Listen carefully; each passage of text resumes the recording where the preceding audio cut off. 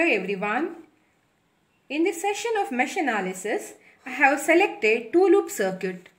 The problem is find the current through 10 ohm resistor and 20 ohm resistor using mesh analysis and also find the voltage drop across 20 ohm resistor. The circuit is given here like this. So to begin with the solution of this circuit, we have to first assign the loop currents for the given two loops. So I will take, these are the two loops. I will take the first loop current as I1 and second loop current as I2. So this is the first step of assigning current. Now whenever current flows through a resistor of 10 ohm in this direction, I have to mark the polarity plus minus here like this and for 30 ohm plus minus like this. So I am tracing in the clockwise direction. For 10 ohm current enters here, leaves here. So plus minus. For 30 ohm enters here, leaves here. So plus minus for the first loop. Similarly, we will mark the polarity for the second loop. So current I2 enters this terminal of 30 ohms. I will mark here plus and minus here. And for 20 ohm, it enters here plus minus. This is the second step of marking all the polarities. Now, to begin with the sign convention of applying the KVL, whenever you move from positive terminal to negative terminal of a battery source, it is considered as a voltage drop. So, you have to take minus V. Okay, you have to consider minus V and whenever you move from negative to positive, it is considered as a voltage rise. You have to take plus V for the EMF source.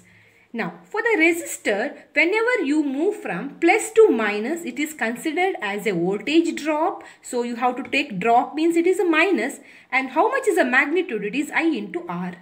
Similarly, move from minus to plus, it is considered as a voltage rise and we have to take plus I into R drop. So, with these four basic rules, we will apply the KVL to the given circuit.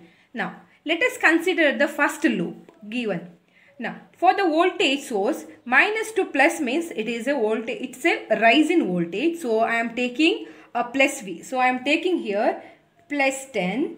Then, second element, when we move from plus to minus, it is a voltage drop. So, it is negative sign. And how much is the drop? I told you plus to minus, minus IR. So, minus I wrote here. How much is I? I is the given current, I1. R is the given resistor, 10. So, it is minus 10 times I1. Now, for the 30 ohm, it is again plus to minus. I am tracing the first loop. Plus to minus means drop. So, sign is minus. Resistor value is 30. And how much is the current now? Now, for 30 ohm, two current flows. I1 in the downward direction. I2 in the upward direction. So, the both the currents are moving in the opposite direction. So, net current will be the difference between two currents. Since I am in the first loop, I am taking I1 minus I2. So, 30 into I1 minus I2 is equal to 0 is the first equation. Now, we will simplify this equation. 10 minus 10 minus 30 minus 40 I1. So, plus 30 I2 is equal to 0. Now 40 I1 minus 30 I2 is equal to 10. Consider this as the first equation. Now go to the second loop. We'll begin with the 20 ohm. For 20 ohm we are moving plus to minus. Plus to minus means voltage drop. So I have to begin with minus 20. Current is I2. So this drop is minus 20 I2. Now when I move from plus to minus, there is a drop. Whenever there is a drop, I have to take minus 5. So it is a EMF source. So plus to minus, I have to take minus V. The V is here volt, 5 volt. Now come back to the 30 ohm. Again I am moving from plus to minus means it is a drop. How much is the drop? Drop is nothing but I into R. R is 30. Now what is the net current? One is I2 flows in upward direction. I1 flows in the downward direction. Again it is the difference. Now for the second loop you have to take it as I2 minus I1 is equal to 0. So this is the second equation. Now simplify this. Minus 20 I2 minus 30 I2 minus 50 I2 then minus minus plus 30 I1 minus 5 is equal to 0. I will rearrange this 30 I1 30 I1 minus 50 I2 is equal to 5. I will take this as a second equation. To solve these two simultaneous equation, press mode.